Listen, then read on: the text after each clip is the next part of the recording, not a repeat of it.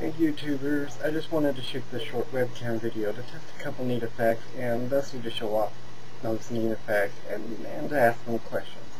First off, I had this little three-dimensional object that I created some time back and as you can see it's a little four-sided A which has to do with my nickname Aakanaar.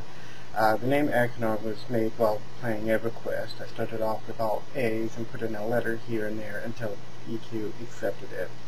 But anyway, this four-sided pyramid A is pretty neat, and go good as a logo when put at one side, end of a, of a little bar, like this.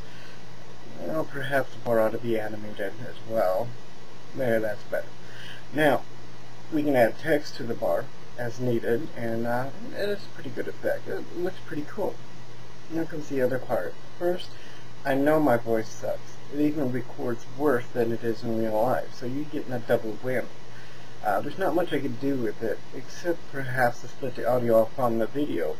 And use a program like Audacity to alter the words to something cooler. But then you'd have to sync the audio back up. Now one thing I think might help is a better microphone. Currently all I have is this one that's built into the headphones. I wonder if anybody can suggest a microphone that would be better. Uh, thanks, and uh, don't forget to rate and comment below.